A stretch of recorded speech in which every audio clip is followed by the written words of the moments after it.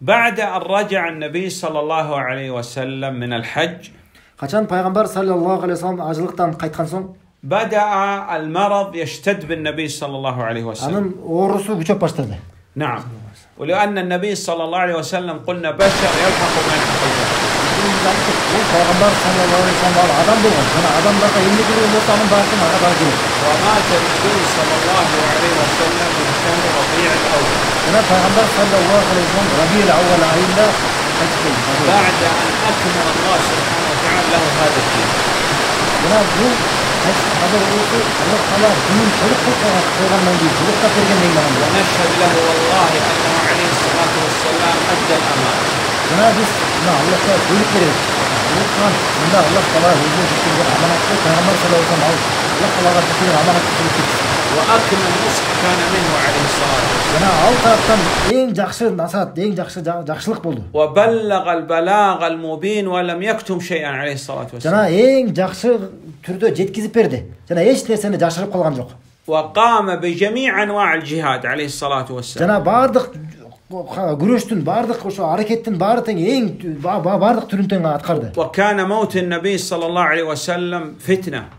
жана пайгамбар саллаллаху алейхи вассаламдын каза болушу бул деген бир сыноо болду بعض الناس ارتد نسأل العافية والسلام кээ бир адамдар аллах таала бизди да сактаган болсун динден кайтып кетти وبعض الناس منعوا الزكاة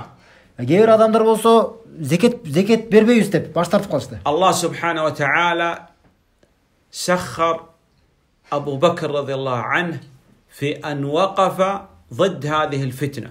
жана аллах аллах субханала таала абу бакырды тандап ал ушул фитнага ушул сыноого каршы турууга аллах тааланы тандап койду. وكان أبو بكر رضي الله عنه سببا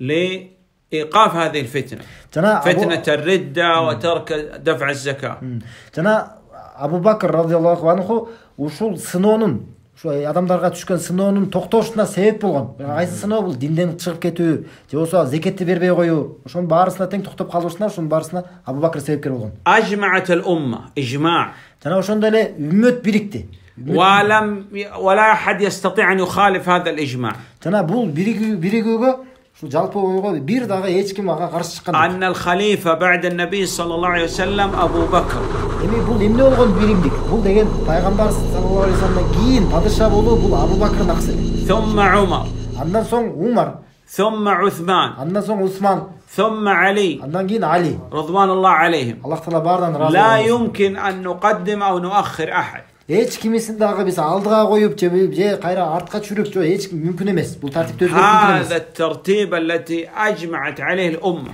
бул тартип ушул коюлган тартип тууралуу баардык үммөт тең бир ой менен жалпы ойдо биригишкен لا نذكر الصحابة إلا بالخير жана биз сахабаларды бир эле жакшылык түрдө жакшы لا, сөз менен эле эскеребиз لا يمكن أن نتكلم فيهم أدنى كلمة бир дагы бир кичине бир жаман сөз менен сүйлөгөнгө бизге мүмкүн эмес لا نسمع شيئا ولا نقرأ شيئا فيه قدح ولو شيء يسير في الصحابة رضوان الله عليهم эгерде бир ка- пайгамбар ошо сахабаларга болгон бир кандайдыр бир жаман сөз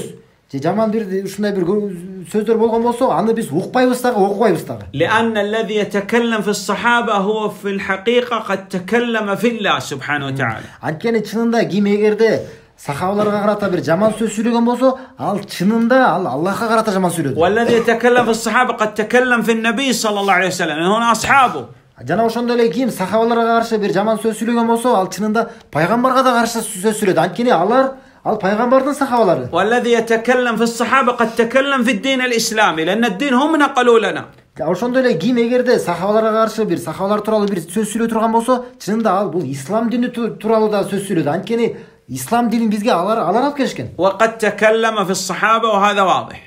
الرابع الذي يتكلم فيهم يعني تكلم في الصحابة. الذي يتكلم في الصحابة قد طعن في الصحابة هذا İşgal kabir. Yani eğer de kim sahalar turalı bir söz sürüyor olsa demek al sahalarda vuruştu. Sahalarda bir söktü.